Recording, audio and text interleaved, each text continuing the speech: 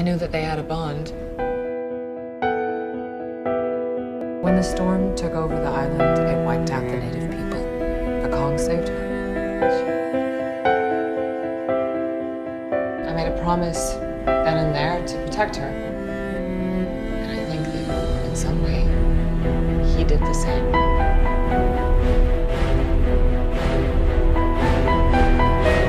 The arrogance of man is thinking nature is in our control, and not the other way around.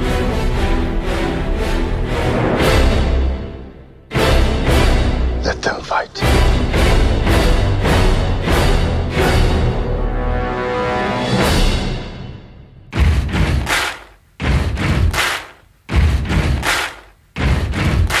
Buddy, you're a boy, make a big noise, playing in the street,